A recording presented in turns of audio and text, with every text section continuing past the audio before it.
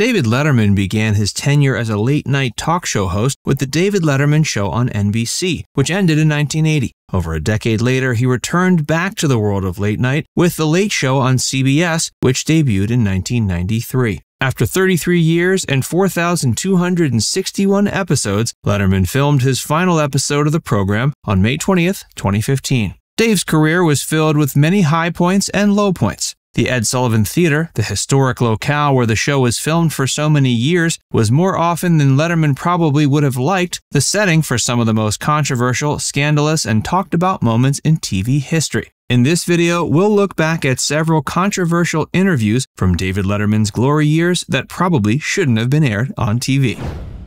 Bill O'Reilly on January 3, 2006, Letterman invited conservative media personality Bill O'Reilly onto his program. The interview quickly devolved into a pretty heated argument over the war in Iraq. The interview eventually became so tense that Letterman couldn't seem to prevent himself from taking a few low blow jabs at his guest. At one point, Dave accused O'Reilly of putting words in his mouth, just like how he put artificial facts in his head. Letterman followed that up by quipping that 60% of what Bill was saying was probably crap. Eventually, the two managed to let bygones be bygones and set aside their differences. Even though they seemingly were able to patch things up, O'Reilly eventually made another appearance on The Late Show in March 2015. Not surprisingly, things got pretty dicey once again. Madonna. Arguably the single most controversial interview Letterman ever conducted was his March 31, 1994 interview with Madonna. Right off the bat, things got off to a rocky start. As soon as Madonna sat down, Letterman joked that his guest had slept with some of the biggest names in show business. Madonna appeared to be visually uncomfortable and kind of peeved after that remark, but even Letterman wasn't prepared for what was about to happen. During an awkward exchange that included several passive aggressive insults and innuendos, Madonna managed to say the F word 14 times. Because of that, the episode is one of the most censored late night television episodes in history. Paris Hilton. In 2007, shortly after the hotel heiress was arrested and served time for violating her probation after she received an alcohol related reckless driving charge, she made an appearance on The Late Show. At that point, she hadn't done an interview in months because she didn't want to talk about her legal troubles or jail stint. Letterman's team repeatedly contacted her PR people to try to get her to come on the show. After several no's, eventually Hilton agreed to go on to promote her fragrance line. Her team made an agreement with Letterman that discussion of her jail sentence was off limits. Despite these terms, as soon as the interview began, Letterman immediately pushed her to talk about the subject. For several uncomfortable minutes, Hilton faced a barrage of questions she wasn't prepared to answer. It almost seemed like Dave made it his mission to humiliate her because right from the get go, he asked her how much she liked her jail time. He then grilled her for several minutes about what the food was like and what she had learned from the experience. Hilton eventually responded to his onslaught of personal questions by saying she had, quote, moved on and didn't want to discuss it, but Letterman pressed the issue. Hilton looked distressed and embarrassed, but Letterman didn't seem to care in the slightest. After leaving the stage, Paris was reportedly in tears, crying and shaking. Fortunately, her sister Nikki was there to comfort and support her.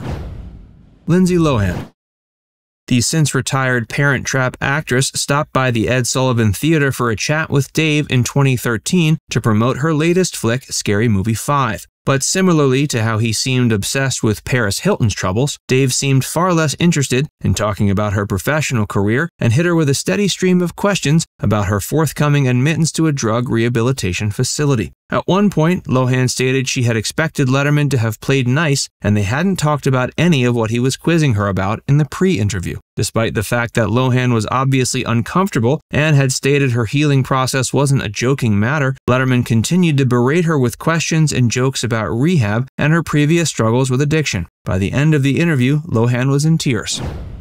Janet Jackson.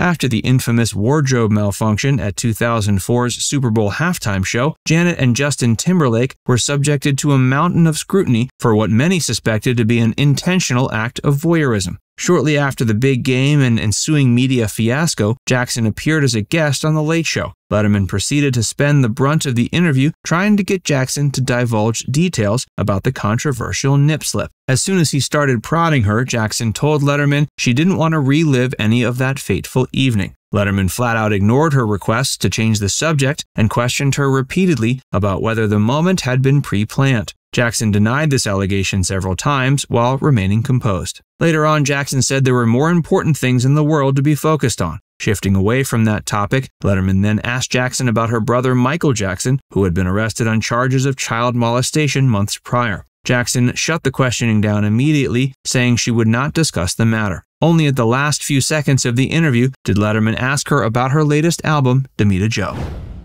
Jennifer Aniston.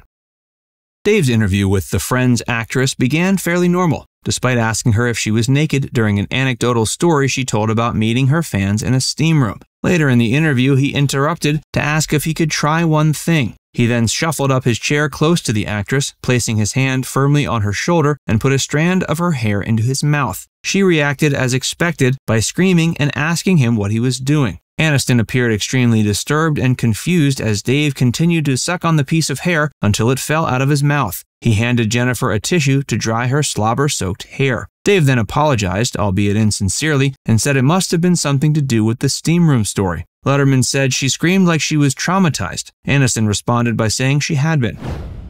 Gwen Stefani. During her five minute interview with Letterman, Stefani discussed her new album, clothing line, and marriage to Gavin Rossdale. Between asking her various questions about her projects, Letterman threw in compliment after compliment about her looks. Later, he said she smelled great as well. Towards the end of the interview, while discussing her latest record, Letterman made one last seemingly unwanted remark by telling Gwen she had tremendous legs. Crispin Glover.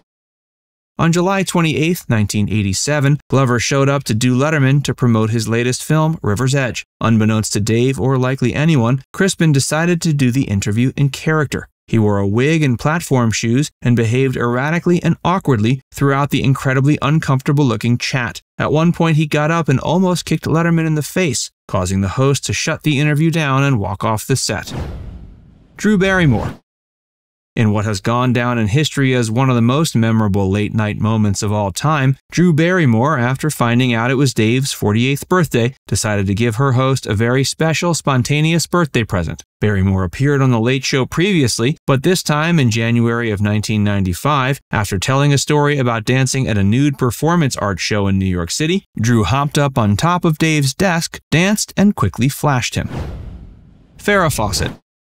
The Charlie's Angel accused Letterman of making fun of her, which of course he was, during a very painful to watch interview on Letterman in 1997. For nearly 20 minutes, Fawcett told several long, nonsensical, and at times creepy stories that seemed like they would never end. She was there to promote a Playboy issue she was on the cover of and a new pay per view special she'd been a part of, but it seemed very likely she was on something at the time. Farrah seemed confused, disoriented, and downright incoherent throughout the segment. At one point, she looked back at the set's backdrop and said, wow, as if she thought it was actually New York City she was looking at. From start to finish, the interview was like a train wreck happening in slow motion. But even so, Fawcett seemed to be having a great time. Now it's time to hear from you. Which one of these interviews was the most shocking to you? Let us know in the comments section below. And before you go, make sure you give this video a like and subscribe to Factsverse if you haven't already. Click the bell icon to stay updated on all our latest content.